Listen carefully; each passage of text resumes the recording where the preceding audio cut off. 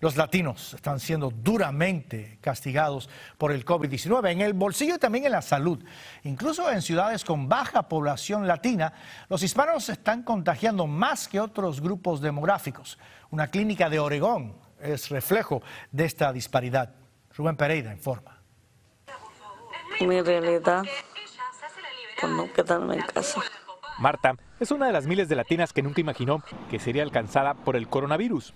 Tengo muchos amigos, familias que están pasando por esto y son latinos que son positivos. Ahora sabe que su comunidad en ningún lugar del país está a salvo.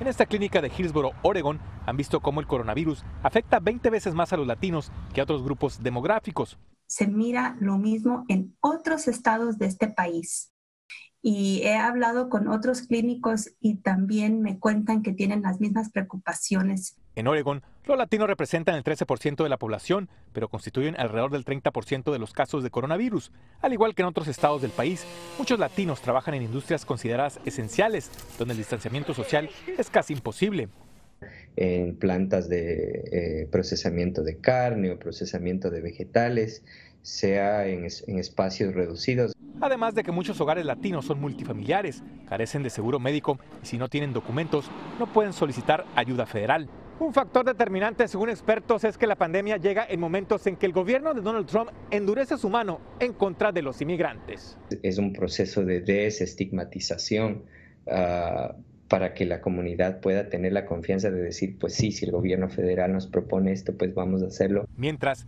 en primera línea, latinos como la doctora Eva Galvez aseguran que seguirán luchando sin descanso. Estamos contribuyendo a este país y los latinos, la gente está comiendo ahorita. Rubén Pereira, Noticias Telemundo.